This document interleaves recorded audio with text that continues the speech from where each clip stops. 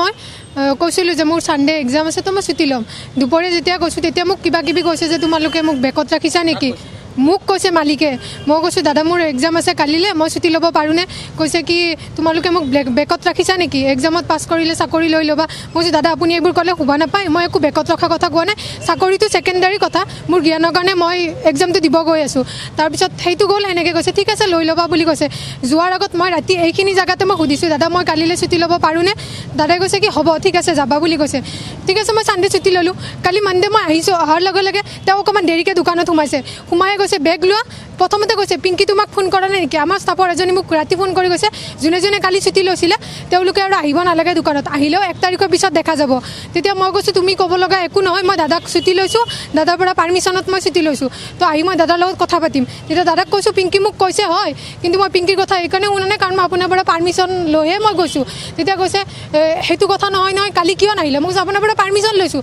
কৈছে কি মই তেওঁৰ লগত কথা নাপাতোঁ। তেতিয়া মোৰ খং উঠি গ'ল। তো তেতিয়া মই তেওঁৰ লগত উচ্চ স্বৰত কথা পাতিছোঁ। তাৰ আগতে মোক ওলাই দিয়া কথাটো কৈছে দোকানৰ পৰা ওলাই যোৱা বুলি। এতিয়া মৃণাল জুঞ্জুনৱালা তেওঁৰ আৰু এজন দেউতাক একচুৱেলি মালিক হয় এইখন দোকানৰ তেওঁ মালিক। দেউতাকৰ নাম ৰাজেশ কুমাৰ জুঞ্জুনৱালা তেখেতসকলৰ আৰু এখন পাণ বজাৰ আছে তেখেতে তাতে বহে। মোৰ ইয়াত কাম কৰিবলৈ এবছৰে হ'ল। এইখন খুলিবলৈ নমাহ হ'ল তাতে কাম কৰি আছিলোঁ। মই তাতে থাকোঁতে মই ছাৰ দেউতাকক কৈছিলোঁ। তাৰপিছত যেতিয়া মোক ক'লে ন লগত কথা নাপাতিলোঁ যেতিয়া মই তেওঁৰ লগত উচ্চ স্বৰত কথা পাতিলোঁ তেতিয়া তেওঁ কৈছে কি ওলাই যোৱা দোকানৰ পৰা একেবাৰে ওলাই যোৱা। মই কৈছোঁ ঠিক আছে ওলাই যাম।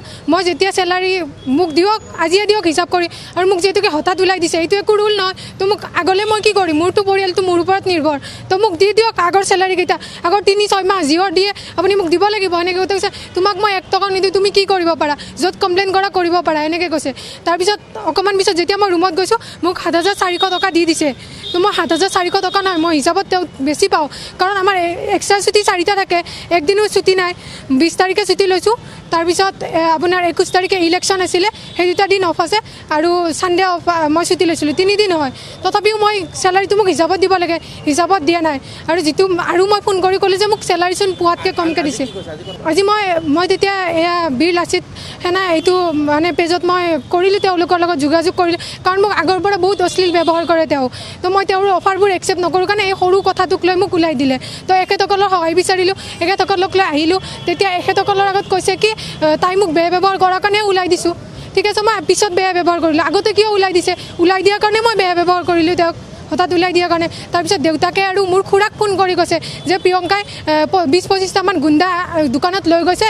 লৈ গৈ মোৰ ল'ৰাক দম দি আছে। আপুনি তাইক চম্ভালক। খুৰাক এনেকৈ ফোন কৰি দেউতাকে কৈছে। মই জানো গুণ্ডা লৈ আহিছোঁ। আপুনি কওক।